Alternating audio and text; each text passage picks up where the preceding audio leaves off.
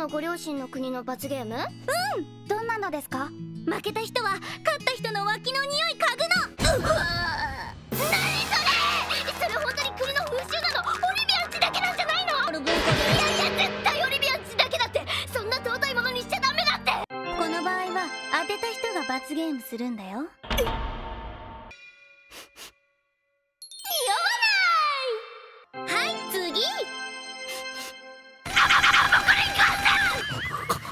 うちんちの猫。なんでパパのおなら嗅いだら鼻もぐのか分かった。極限だともぐんだ。極限だともぐんだ。にゃーんって。言わない。一回鼻をもぐのも良い社会経験じゃなくて？かすみはいどうぞどうぞ。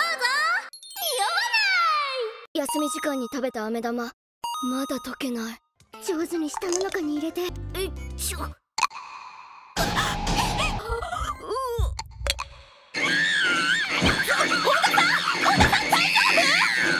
すみませんでした。言わないおお見合いとかもするの？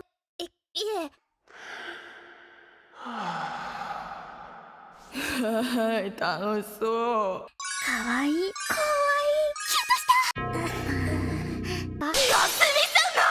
突然ぶっこんできた！後半のって地球で見つけられるの？言わ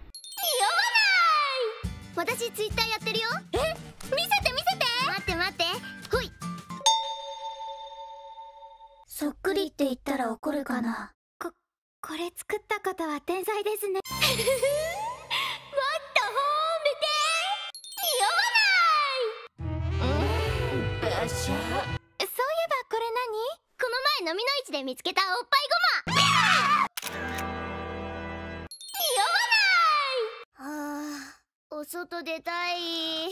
何外ってどこ？渋谷。分かってない。分かってないよ先生。そうじゃない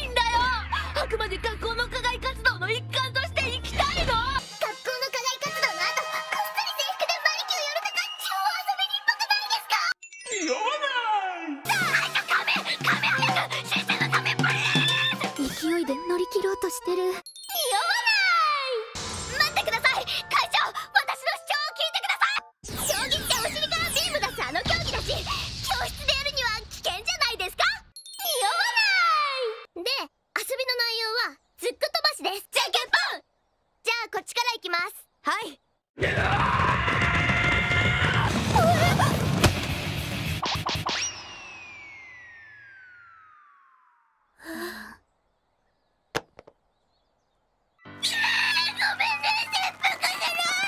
さんそれ死ねるかもしれないけど切腹じゃない。自転車ダメって言ってなかったよね。